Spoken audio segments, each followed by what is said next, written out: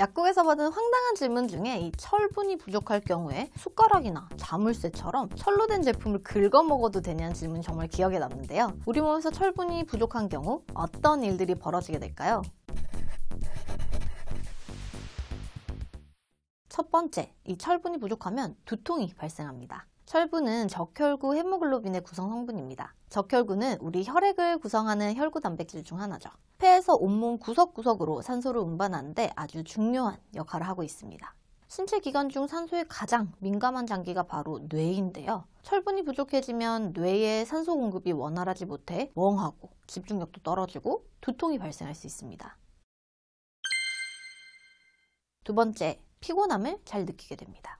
철분이 충분하지 않으면 모든 신체 조직에 산소가 적게 공급될 수밖에 없습니다. 이렇게 되면 에너지 생성 효율이 떨어지면서 조금만 활동을 해도 쉽게 피로해지고 모든 일에 의욕이 없어지게 됩니다. 세 번째, 얼굴이 창백해집니다. 평상시 얼굴은 약간 붉은 빛이 도는데요. 이는 혈액 속의 산소와 결합한 헤모글로빈 때문에 그렇습니다. 하지만 철분이 부족하면 헤모글로빈 생산도 줄어들고 산소와 결합하는 정도도 떨어져서 얼굴이 창백해지게 되는 것입니다.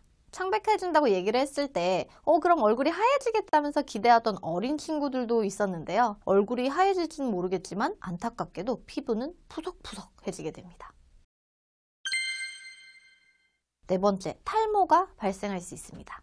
철분 부족으로 철 결핍성 빈혈이 생기면 우리 몸은 산소가 가장 필요한 중요한 장기부터 혈액을 보내게 됩니다. 모발은 상대적으로 후순위에 해당하는데요. 더불어 철분은 혈액뿐만이 아니라 피부, 모발, 점막과 같이 분열이 빠른 세포의 활동에 매우 중요합니다. 따라서 철분이 부족하면 앞서 말한 것처럼 피부도 푸석푸석해지고 모발도 윤기가 없어지고 성장이 둔해지면서 탈모가 발생할 수 있습니다. 다섯 번째, 손톱에 이상이 생깁니다. 피부와 머리카락과 더불어서 손톱도 세포 분열이 빠른 곳 중 하나죠. 철분이 부족해지면 손톱이 잘 부서지고 광택이 없다가 더 진행되면 손톱이 갈라지거나 일명 스푼형 손톱이라고 손톱이 숟가락 모양으로 안으로 움푹 파인 형태로 휘어지게 됩니다. 이처럼 손톱에서 표시가 날 정도면 철분 결핍이 상당히 진행된 상태일 수 있습니다. 여섯 번째, 심장 박동이 빨라집니다. 산소 전달 효율이 떨어지다 보니 이 온몸 구석구석으로 조금이라도 산소를 더 공급해 보기 위해서 심장 박동이 빨라지는 것인데요. 심각한 경우에는 호흡곤란, 심장비대, 심부전증까지 올 수도 있습니다. 일곱 번째, 지적 능력이 떨어집니다. 철은 신경 전달 물질을 생성하는 데 관여하는 효소의 보조인자이기도 한데요. 따라서 한창 성장하는 아동기에 철분이 부족하면 인지 발달과 학습 능력의 저하를 유발할 수 있고 성인의 경우 기억력 감소가 나타날 수도 있습니다. 여덟 번째, 여성의 경우에는 생리불순이 생기거나 생리통이 심해지기도 합니다. 이 철분 결핍은 매달 월경으로 혈액 소실이 있는 가임기 여성의 경우 더 잘 발생할 수 있는데요. 가임기 여성과 더불어 한창 성장기인 유아 그리고 태아의 발달과 성장까지 책임지고 있는 임산부, 사고나 수술 등으로 출혈이 있었던 환자들은 더욱 철분 결핍에 유의할 필요가 있습니다. 이 외에도 철분 결핍 시 혀의 통증, 팔다리 저림, 무감각증이 나타나기도 합니다.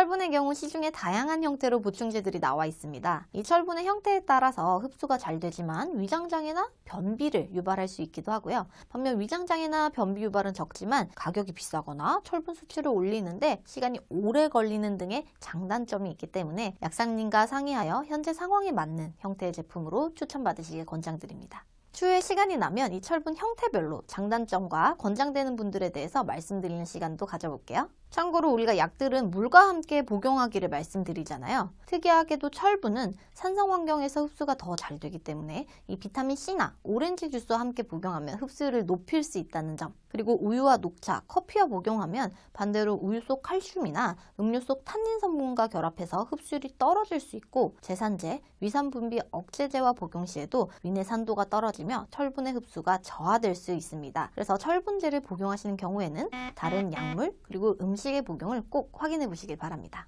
철분의 1일 권장 섭취량은 성인 남성에서는 하루에 10mg, 월경을 하는 여성과 수유 중인 여성은 하루 14mg, 임산부는 하루 24mg이며 이 상한 섭취량은 45mg입니다.